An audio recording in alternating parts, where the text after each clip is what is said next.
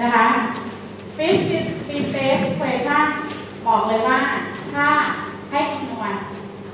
ในข้อสอบไม่บอกสูตรนะ อันนี้เป็นสมการที่ไม่บอกสูตรนะฮะขอให้เด็กจำภาพ แล้วก็จำสมการเอานะคะมันคือรูปเนี้ยแล้วเราบอกเลยเนี่ยคือกำลังงานส่งคูณกับ gain นะ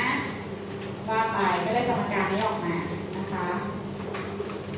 เช็คหน่วยอีกทีกำลังงานที่เราได้จะเห็นว่ามันเป็นฟังก์ชันของ d คือระยะทางเห็นไหมลูกทุกตัวเป็นเท่าฟิกหมดเลยนะฟิกหมายความว่าไงเวลาเราส่งสัญญาณออกมาเราฟิกกำลังงานส่งเกณฑ์ที่ใช้สำในสายกาเราก็ฟิกไว้เรียบร้อยรับแล้วก็มีเกณฑ์ที่สับฟิกไว้นะคะสีพายเป็นค่าของที่ลำด้าแบบหนังจากความถี่ซึ่งเรารู้ตั้งแต่ต้นอยู่แล้วว่าเราแค่ใจขึ้นความถี่เท่าไหร่ดังนั้น power ที่เป็นไปตามสมการของฟิกจะแปลงกับจากค่าค่าเดียวเท่านั้นคือระยะทางนะคะดังนั้นบางทีสมการของ Friis free space ก็จะเขียนเป็น PR ในวงเล็บ D นะคะหน่วยเป็นวัตต์นะเช็คหน่วยของทุกๆพารามิเตอร์อีกทีกำลังงานส่งหน่วยเป็นตรงนี้เขียนวงเล็บให้ฟังไม่ได้ลูก PT หน่วยเป็นวัตต์นะคะ เกณฑ์ส่งเกณฑ์รับในที่นี้ไม่มีหน่วย D คือระยะทางระหว่างเครื่องส่งและเครื่องรับในหน่วย L คือเป็น loss ในระบบที่ไม่เกี่ยวกับการ propagation อันนี้ก็เป็นหนึ่งจริงๆมันมีค่ามากกว่าเท่ากับหนึ่งแต่ว่าเราอินนอนจำนวนมันเป็นหนึ่งนะคะ lambda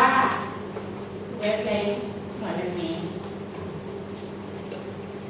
ทีนี้ถ้าเราทำเป็น DD นะคะแล้วก็แค่เทคสิบล็อกหารสิบทั้งสมการที่สิบกลายเป็นสมการที่สิบเอ็ด A กับสิบเอ็ด G ค่ะให้เวลาดู เข้าใจไหมว่ามันเป็นแบบไหนเทคสิบล็อกหารสิบของทั้งก้อนคือผลคูณใช่ไหมมันก็คือสิบล็อกหารสิบของแต่ละก้อนเอามาบวกกันใช่ป่ะดังนั้นแต่ละก้อนก็จะเป็น DD DD DD DD เรียบร้อยแล้วนะ11 A กับ11 B ต่างกันไหนอาจารย์เอาสองข้างบนย้ายไปคูณ10ข้างหน้าโอเคเสร็จแล้วสิ่งที่ได้มาก็คือสรุปง่ายๆตามนี้นะคะ กำลังงานที่รับได้ก็ขึ้นอยู่กับว่าจะเปรียบเทียบกำลังงานส่งกับอะไร ถ้าสเกลของเราเมื่อกี้มันหารด้วยหนึ่งกวัตต์ดังนั้นกำลังงานรับก็เป็นหนึ่งกวัตต์เกณฑ์ก็คือเป็นเกณฑ์ dBi dBi นะตัวนี้แหละคือ loss ที่เกิดในระบบถูกไหม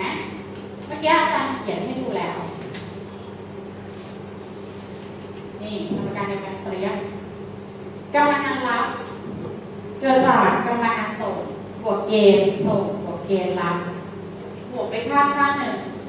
ที่เกิดจาก wireless channel หรือที่เราเรียกว่า loss นะคะซึ่งในที่นี้มันมีค่า คือถ้าไม่มีติ่งเนี้ยแสดงว่ากำลังงานส่งรับกำลังงานรับมันทรานส์โดยร้อยเปอร์เซ็นต์คือไม่มีล้อเกิดขึ้นมันคือจุดจุดเดียวกันนะคะแต่เมื่อมีระยะทางเกิดขึ้นมันมีค่ากล่องของนั้นข้าง เนี้ยเราเรียกว่าเป็น free space part loss นะคะภาษาไทยเรียกว่าการสูญเสียเชิงวิถี หรือพูดง่ายๆก็คือเป็นล้อที่เกิดจากระยะทางที่เพิ่มขึ้นสัญลักษณ์ของ free space ขาล้ออาจจะเขียนเป็นอาจารย์จะเขียนเป็น F S P L หรือ L ใหญ่ห้อยด้วย F ความหมายเดียวกันคือ loss ที่เกิดจาก free space ขาล้อนะคะ กรรมการ12กับ13ต่างต่างกันไงคะ ต่างกันตรงที่อะไรนะอ๋อหน่วยตรงนี้ BDN แค่นั้นเองนะคะ โอเค ทีนี้บางคนบอกว่าถ้าเราถามหาฟีเฟสสามร้อยเราอาจจะหาจาก 20ล็อก30จาก90ในดีก็ได้ หรือ เอาอีกอาจจะง่ายกว่าไหมกำลังงานรับลบกำลังงานส่งลบเกณฑ์ลบเกณฑ์ก็ได้ล็อกเหมือนกันถูกปะคือย้ายสีสามตัวนี้ไปลบก็ต้องมีค่าเท่ากับกับสีชมพูนะคะดังนั้นเด็กทำวิธีไหนก็ได้นะเวลาหาฟีเฟสสามร้อยนะคะ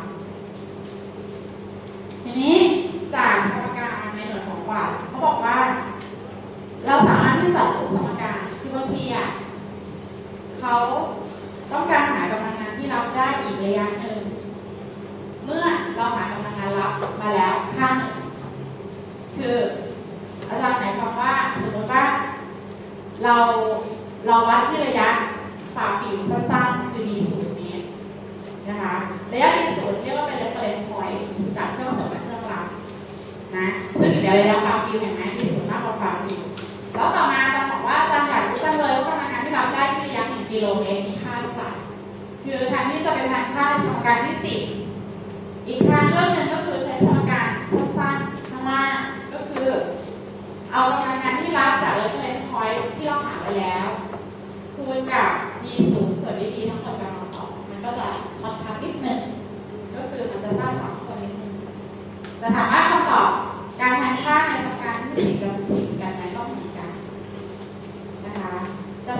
สมการที่สิบสี่ปรับให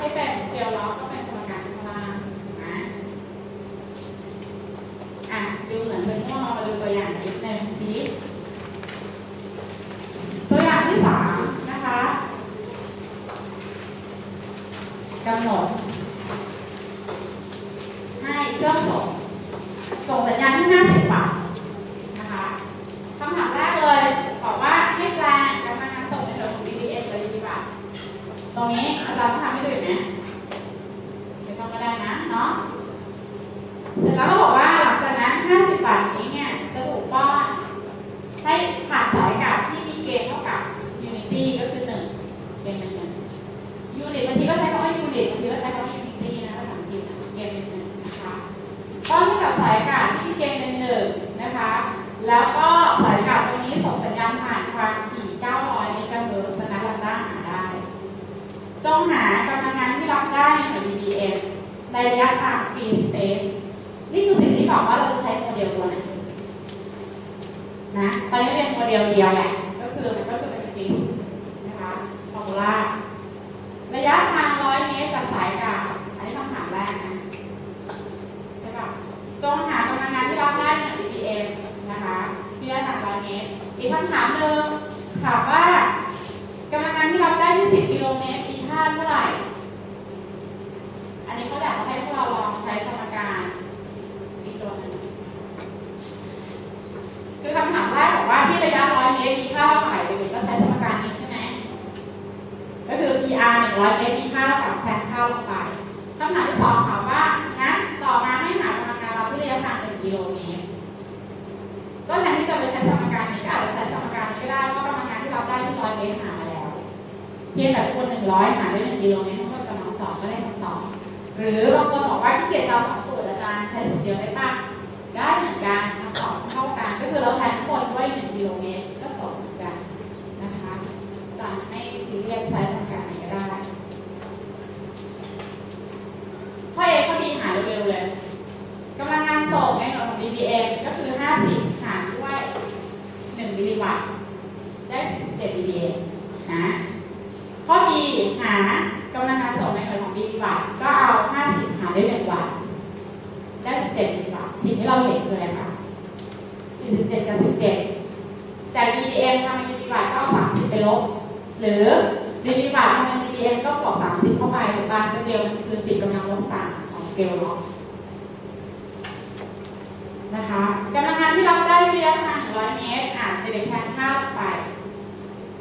แทนค่าประการนี้ ใครไม่เข้าใจตรงไหนบ้างคะ PP คือ50 วัตต์ เกณฑ์ส่งเกณฑ์รับมีค่าเป็นหนึ่งแลมด้าทำไมทำไมเป็นหนึ่งส่วนสามอะแลมด้าเห็นไหมคะ V ส่วนใน F V คือสามคูณสิบกำลังแปด F คือเก้าร้อยใช่ป่ะ มันก็คือหนึ่งส่วนสามเมตร ทั้งหมดกำลังสองด้วยนะ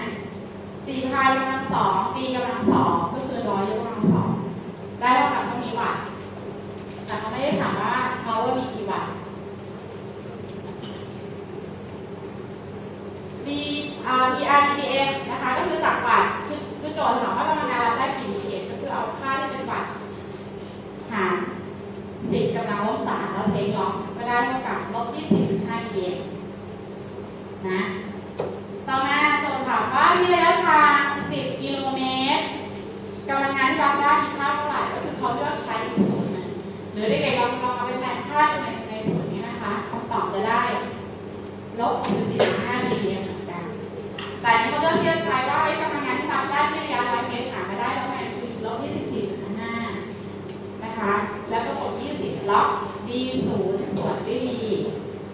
d 0คือ100 d คือ 10 กิโลเมตรนะคะก็ได้ออกมาค่าอะ มีคำถามไหม ถ้าไม่มีนะคะ เดี๋ยว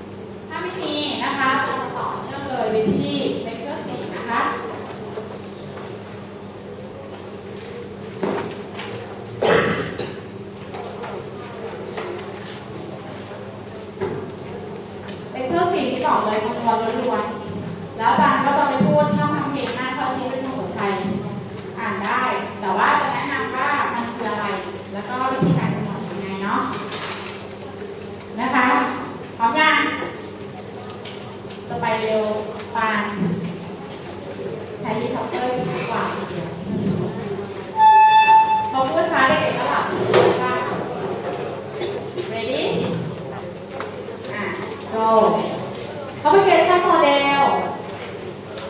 เมื่อกี้หาไปแล้วนะ โมเดลแรกคือ free space ที่เรียกว่า Friis ใช่ไหมมี formula ใช่ป่ะและที่ที่สี่คือต่อเนื่องมาจากฟิสนะคะ Friis เป็นสภาวะที่ไม่มีสิ่งกีดขวางอยู่เลยนะต่อมาในเรื่องนี้มีสิ่งกีดขวางอยู่ แต่ว่าเขาแบ่งแยกออกเป็นสองโมเดลหลักนะคะ โมเดลแรกเรียกว่า outdoor propagation model โมเดลที่สองคือ indoor propagation model นะคะเป้าหมายบอกไปแล้วนะคะว่าเราต้องการหาอะไรคะปกติอะโมเดลของฟรีเมื่อกี้เราทำเราหาสองค่าอาจจะเป็นการหากำลังงานที่รับได้หรือการหา propagation ผ่าน loss ถูกปะแต่โมเดลต่อไปนี้สิ่งที่เขาหาคือ loss แล้วสิ่งที่เขาหาคือไม่ใช่ loss ธรรมดาเนื่องจากว่าอย่างที่อาจารย์บอก ทุกๆโมเดลเป็นการเก็บค่าจริง เก็บค่าจริงหมายความว่า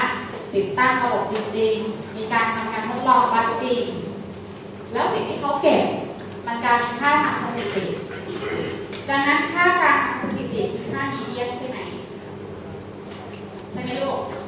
มีเดียนอยู่ที่เปอร์เซ็นต์ไทยเท่าไหร่คะรู้จักเปอร์เซ็นต์ไทยไหมคะเคยได้ยินไหมคะเออมีเดียนคือเปอร์เซ็นต์ คะตอบให้ชื่นใจนิดนึงทั้งหมดเลยคือร้อยถูกปะตรงกลางเป็นเท่าไหร่ห้าสิบโอเคนะคะดังนั้นสิ่งที่พวกหาคือมีเดียมผ่าน loss หรือสมการเขาจะเรียกว่า L 50หรือว่าเป็นการหา loss ที่เปอร์เซ็นต์ไทยที่50นะอ่านตามที่ดูสูตรน่ารักน่ารักคือสมการที่หนึ่งอะเรียนดูสิ่งที่เขาหา คืออันนี้เป็นโมเดลของคุณโอคุมุระเห็นไหมโอคุมุระทุกคนโอคุมุระสร้าม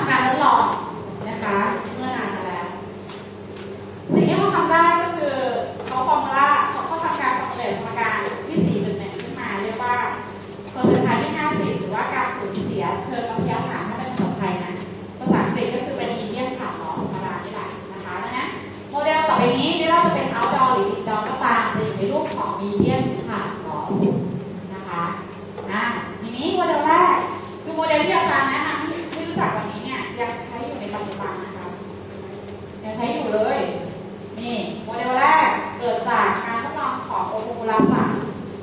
ซึ่งไม่ต้องบอกว่ารู้ว่าเป็นคนประเทศอะไรคะญี่ปุ่นแน่นอนนะคะทำการทดลองตั้งนานมากค่ะ1960 เราอยู่ไหน1960ไหนไม่รู้เป็นอากาศนะ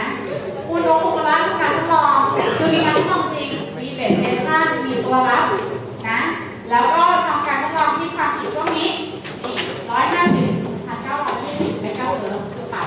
ความถี่เรื่อยๆ แล้วก็ปรับระยะทางระหว่างเครื่องรับและเครื่องส่งไปเรื่อยๆ นะคะ มันเป็นความเป็นความถึกมากเราได้โมเดลนี้ขึ้นมา ก็คือปรับอยู่ในช่วงหนึ่งถึงหนึ่งร้อยกิโลเมตร แล้วก็ความสูงของ base station ปรับด้วยนะจากสามสิบถึงหนึ่งพันเมตรเราดูความความยากของที่ว่ามันต้องทำอะไรแบบนี้ซ้ำๆซ้ำๆซ้ำๆก็เป็นเลยค่าว่าเทรดกราฟเป็นยังไงนะคะ แล้วสิ่งที่โอคุมรสั่งได้มาก็ ราฟสองกราฟกับหนึ่งสมการกราฟแรกเรียกว่าตัวนี้ AMU AMU ก็คือฐาน loss อะ median attenuation ค่ะก็คือเป็น loss เป็นการลดทอนนะคะแล้วโอคุมาระทำการทดลองในเมืองนะคะโดยว่าไอเรียนะคะโดยสภาวะค่อนข้างราบเรียบคือในปี 1960นะญี่ปุ่นก็ไม่ได้มีตึกรามบ้านช่องอะไรใหญ่โตขนาดนี้ดังนั้นแม้ว่าจะเป็นในเมืองนะเขาบอกว่า ราบเรียบแหละสายอากาศที่อยู่ในกราฟนี้นะคะ มันเป็นสายอากาศที่ความสูง 200 เมตร สายอากาศส่งนะ สายอากาศรับที่ 3 เมตรนะคะ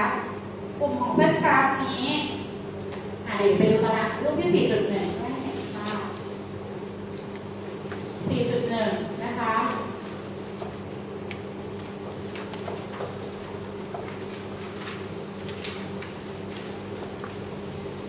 นี่คือสิ่งที่องค์การทดลอง แล้วก็สรุปเป็นกราฟมาค่ะเรียกว่าเป็น attenuation ที่เป็นฟังก์ชันของ f และ b ก็คือ attenuation จะเปลี่ยนแปลงไปตามความถี่และระยะทางที่เปลี่ยนแปลงไป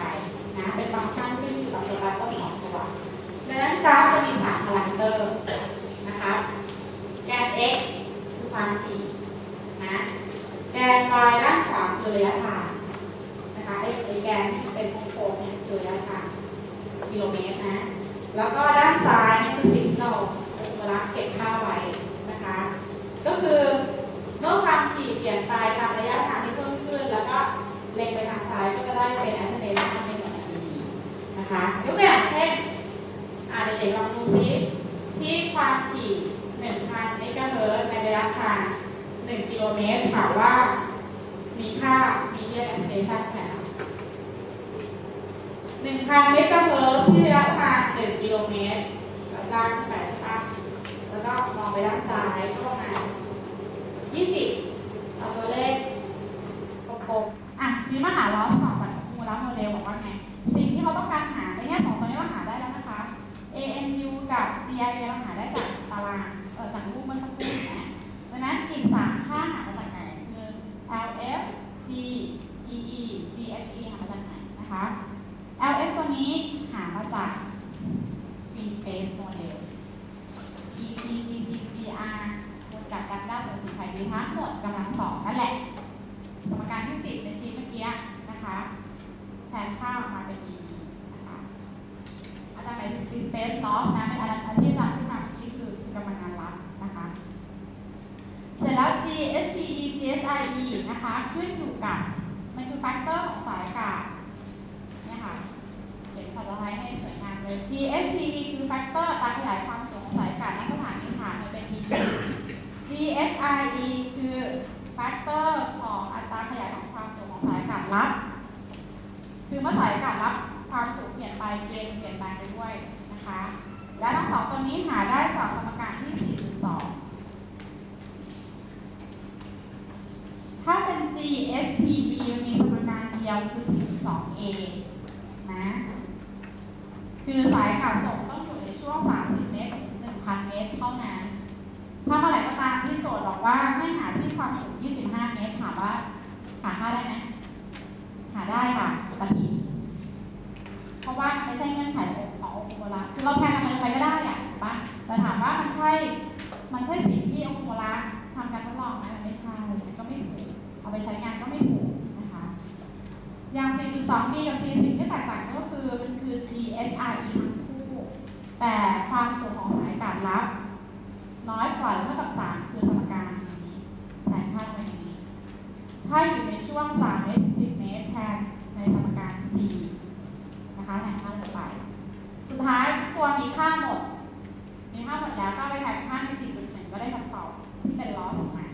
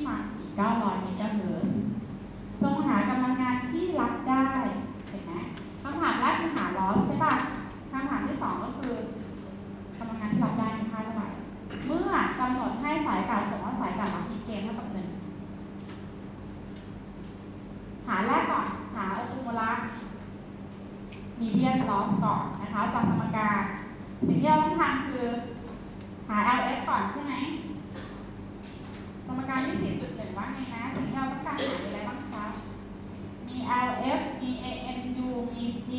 3 G ถูกปะนะคะเนี่ยเราเราจะหามาตามลำดับหาค่าแรก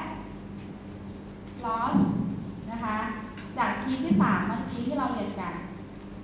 p r e s e t ผ่าน loss มีค่าระดับ20ล็อกฐาน10ของลันด้าของน4พายดีลันด้าหามาได้แล้วเป็น1ส่วน3เมตร4พายค่าคนที่ d คืออะไรคะ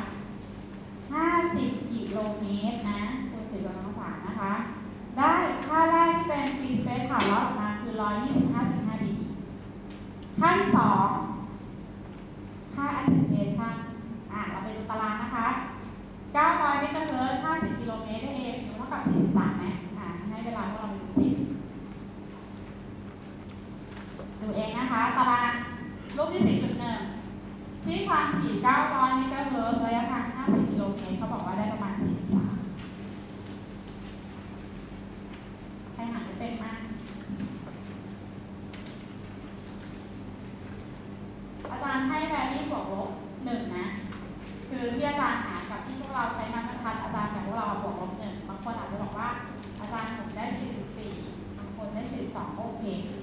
นะคะหาค่า G area จากรูปที่ 2 เนื่องจากว่ามันเป็นซับเออร์เบนที่ความถี่900เมตรไม่9ดี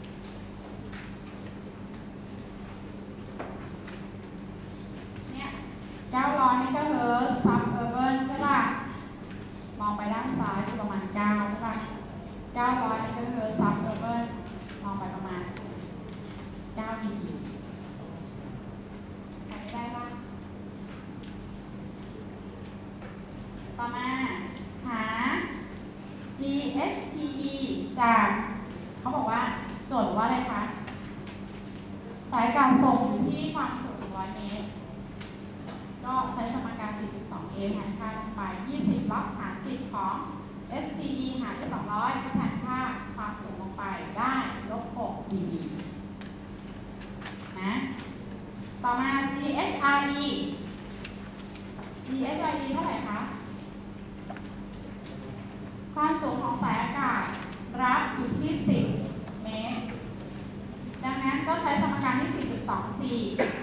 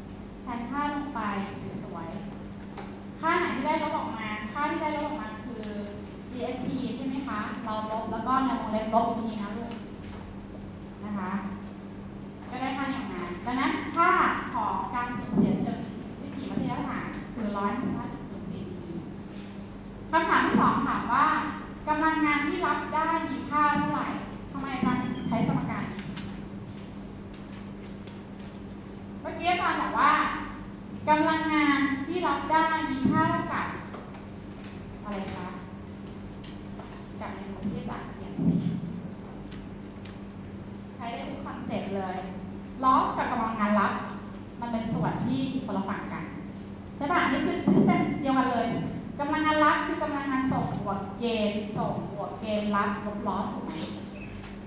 ใช่ไหมคะ แล้วโจทย์ข้อนี้ถามว่าเรารู้ลอสอย่างอะรู้แล้วเมื่อกี้ไงใช่ปะเราก็ทานค่าลอสลงไปก็จบแล้วให้กำลังงานที่รับได้ถูกปะแต่ข้อนี้บางคนบอกว่าอาจารย์แล้ว PT มันมีค่าเท่าไหร่อะโจทย์ข้อนี้บอกกำลังงานส่งไหม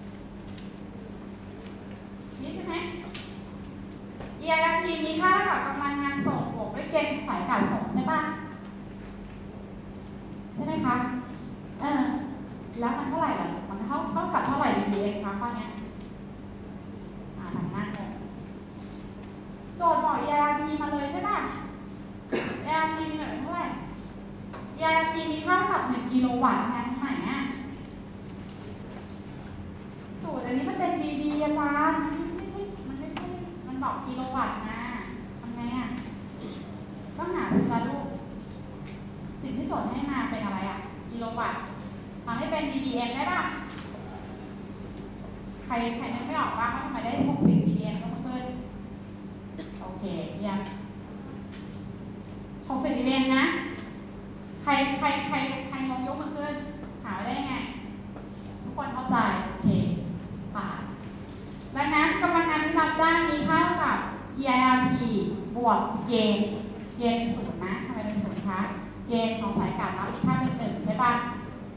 แล้วหารสิบของเป็นคือศูนย์ลบกับลอสค่ะลอสคือร้อยห้าสิบห้าจุดศูนย์สี่เนี่ยก็ได้คำตอบแล้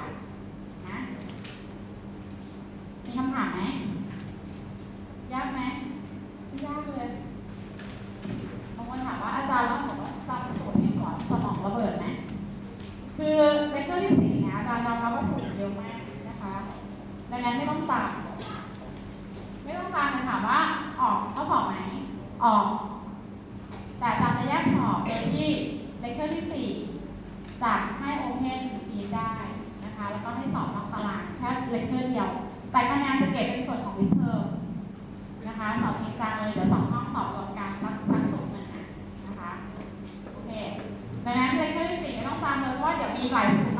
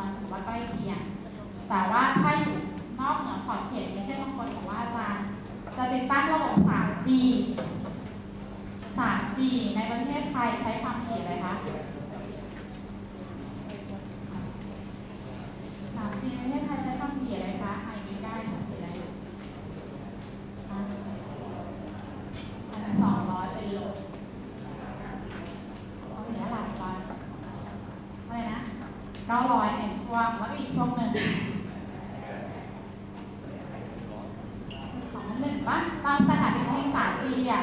3G นะ 3G 3G ตามสแตนาดจริงๆคือ 2.1กิกะเฮิร์ตนะคะดังนั้นถามว่า2.1กิกะเฮิร์ตแล้วก็วางระบบ 3G แล้วใช้ทางป่าในการคำนวณหาลอสที่เกิดขึ้นเป็นไงเจ๊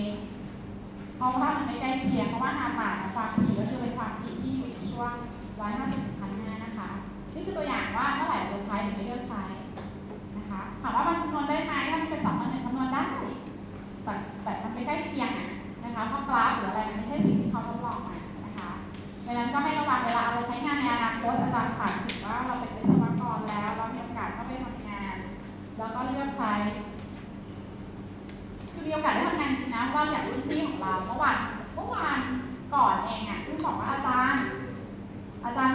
เดลให้หน่อยดีบริษัทผมกำลังจะสร้างสมการขึ้นมาเป็น propagation model นะคะว่าเองไปอ่านชี้ที่อาจารย์สอนนี่คือคือรุ่นที่รุ่นสิบ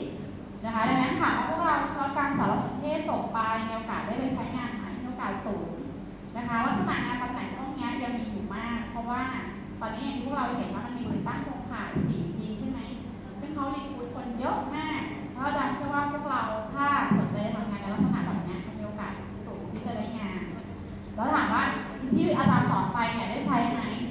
ท้ายก็มีเด็กกลับมาจากรุ่นพี่ว่าเออเนี่ยคือไปคุยกับคนอื่นแล้รู้เรื่องว่าสับบางคำที่ผมเคยเรียนมาแล้วก็ไป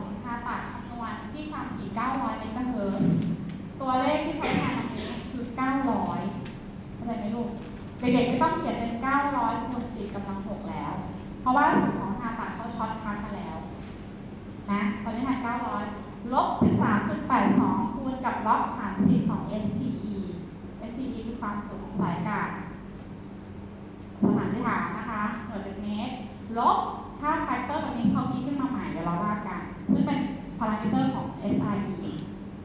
บวกแมวงเล็บ 44.9ลบ6.55คูณกับล็อกฐาน10ของ STE ความสูงของสถานีฐานเป็นเมตร ทั้งหมดคูณกับล็อกฐาน10ของ T อันนี้ตัวนึงที่ผิดปกติก็คือว่า T ในที่นี้ระยะทางหน่วยเป็นกิโลเมตรนะคะดังนั้นสิ่งที่อาจารย์ย้ำก็คือว่า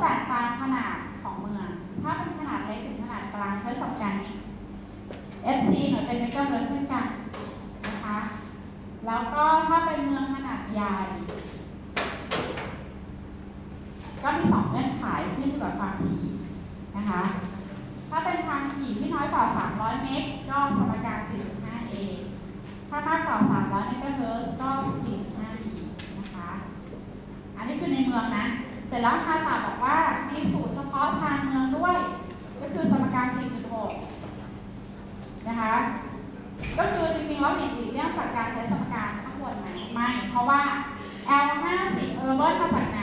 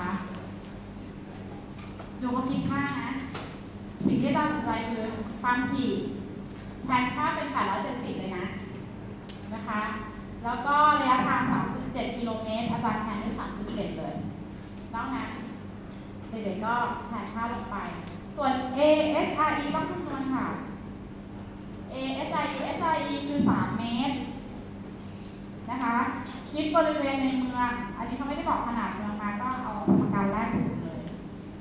นะคะ ก็คือ a สามได้สองหกเก้าเราไปแทนค่าในสมการทั้งหมดก็จะได้คำตอบมาว่า l ห้าสิบมีค่าเท่ากับเป็นสามเจ็ดจุดหนึ่งการถามต่อ ถ้าต้องการหากำลังงานรับจากโส่วนข้อนี้หาได้ไหมกำลังงานที่รับได้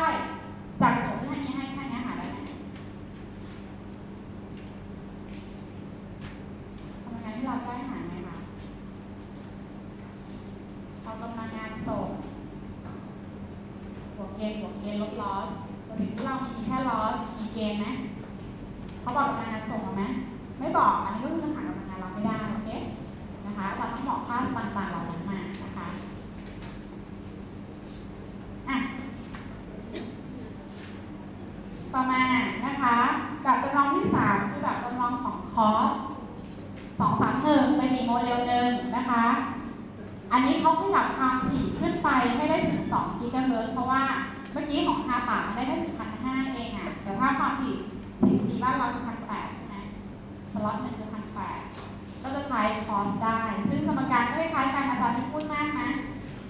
ตอนนี้4.8 นะคะ 4.8 แล้วก็ C ก็คือ เป็นเมือง C เท่ากับศูนย์คือเมืองขนาดกลางเท่ากับ3 D ก็คือจุดศูนย์กลางของเมืองหลวง ถ้าเมืองหลวงก็แค่ค่า C เท่ากับ3ก็เป็นอันว่าจบนะไม่มีอะไรมาก ไม่มีตัวอย่างให้ด้วยไม่มีคนคนใช้อะมีคำถามไหมสำหรับ outdoor ถ้าไม่มีนะคะ อาจารย์จะไปต่อที่ indoor นะอีกอีกหนึ่งโมเดลนะคะ indoor ใช้กับแอปพลิเคชันอะไรบ้างเช่นการติดตั้งระบบ wireless LAN ใช้สาย Wi-Fi อะตั้ง Wi-Fi อยู่ในบ้านใช่ไหม cordless telephone หรืออะไรก็ตามที่อยู่ภายในอาคารก็สามารถใช้โมเดลต่อไปนี้ได้นะคะสิ่งที่ใช้บ่อยๆคือโมเดลที่สมการที่ 4.9 เรียกว่า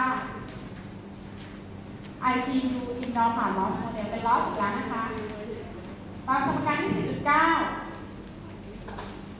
มาดูวิธีการใช้สมการเลยแล้วกันเนาะ F ตัวนี้คือความถี่หน่วยเป็นเมกะเฮิร์ตอีกแล้วนะแทนค่า F ในหน่วยเมกะเฮิร์ตนะคะ B อันนี้หน่วยเป็นเมตรเพราะว่าภายในอาคารมันไม่เป็นกิโลเมตรแน่นอนนะคะ ส่วนสิ่งที่แปลกเพิ่มขึ้นมาก็คือสองค่าคือ n ใหญ่กับ LF n เล็ก n ใหญ่คือ power loss coefficient นะคะมีตารางให้จากการเก็บค่าทางสถิตินะคะ LFN คือการสูญเสียระหว่างชั้น คือ loss ที่เกิดขึ้นระหว่างชั้น ดังนั้นมันจะมี factor ของชั้นเข้ามาเกี่ยวข้องหมายความว่า เครื่องส่งและเครื่องรับอยู่ชั้นเดียวกัน n เท่ากับ1 n เล็กนะ n เล็ก n คือจำนวนของชั้นระหว่างเครื่องส่งและเครื่องรับ ถ้าเครื่องส่งและเครื่องรับอยู่ชั้นเดียวกัน n เท่ากับ1ถ้าเครื่องส่งชั้น 1 เครื่องรับอยู่ชั้น 2 n เท่ากับ2นะคะ เพราะว่าค่า n จะทำให้ค่าของ for penetration เปลี่ยนแปลงไป ดังนั้นในสองค่านี้มีตาราง ตารางที่ 4.1 คือการหาค่า n ใหญ่นะคะ จากการเก็บค่าทางสถิติมาเขาบอกว่าเนี่ยมันจะมีอินดอร์มันจะมีอยู่สามลักษณะของอาคาร ก็คือว่าเป็นที่อยู่อาศัยสำนักงาน อาคารการค้าร้านร้านค้าต่างๆแล้วก็เขาไม่ได้ทำการทดลองทุกสล็อตด้วย ดังนั้น บางสล็อตเช่นความถี่ 900กิกะเฮิรตซ์ที่อยู่อาศัยก็ไม่มี แต่ว่ามันจะเป็นมีที่สำนักงานกับ commercial อย่างเงี้ยนะคะก็เลือกใช้เอาตามตารางที่มีคือถ้าใช้ ITU มันต้องเป็นไปตามตารางนี้ เช่นเราจะต้องต้องการติดตั้ง Wireless LAN ที่ความถี่ 5.2กิกะเฮิรตซ์สมมติที่อาคารสำนักงานถามว่าค่า N มีค่าเท่าไหร่คะก็31ต้นอีก factor หนึ่งดูที่ตารางที่ 4.2 นะคะ ก็คือ floor penetration นะคะขึ้นอยู่กับค่าของ n วิธีการใช้เราจะทำกันที่ความถี่ 900 เมกะเฮิรตซ์เนี่ยเขา fix ค่า n เป็นอย่างนี้นะคะ ถ้า n เป็น 1 LF คือ 9 ถ้า n เป็น 2 LF คือ 19 ถ้า n เป็น 3 LF คือ 24 อันนี้คือคือคือมันไม่แปรผันค่า n เขากำหนดฟิกมาเลย แต่ว่าถ้าเป็นความถี่ 1.8ถึง2กิกเนี่ยจะเห็นว่าคือการคูณกันหมายความว่าถ้า n เล็กเปลี่ยนไปค่าของ LF เปลี่ยนแปไปด้วยนะ เช่นถ้าที่อยู่อาศัย n เป็นสองค่าต้องกายเป็นแปดปะทันไหม for penetration LF ถ้าเครื่องส่งและเครื่องรับห่างกันหนึ่งชั้น หรือเครื่องรับชั้นหนึ่งเครื่องส่งชั้นสอง N เล็กเป็นสองใช่ไหม ถามว่า LF นี่ค่าเป็นเท่าไหร่ก็เอาสองคูณสี่ได้แปดถูกปะหรือถ้าเป็นราคาสำนักงานกลายเป็นว่ามันก็คือสองลบหนึ่งได้หนึ่งใช่ไหมหนึ่งคูณสี่คือสี่ใช่ปะบวกกับสิบห้าก็คือสิบเก้าอย่างเงี้ยแต่ถ้า N อยู่ชั้นเดียวกันก็คือสิบห้า โอเคไม่งงใช่ไหมโอเค โอเค อ่าดูวิธีการคำนวณนะคะ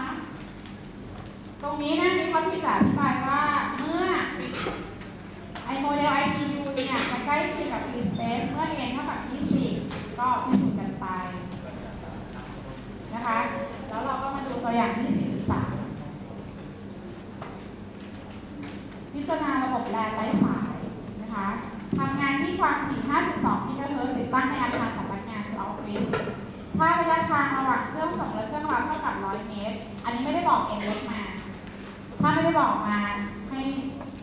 default ไปเลยว่ามันอยู่ชั้นเดียวกัน p n หนึ่งต้องหา loss ที่เป็นไปได้ ก็คือให้หาสมการ IPU loss นะคะ จากโจทย์ได้ว่า n เท่ากับ